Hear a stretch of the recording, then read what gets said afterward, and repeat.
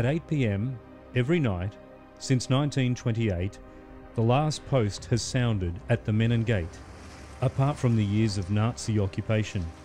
It's humbling to know that during this coronavirus pandemic, the ceremony goes ahead, just without crowds.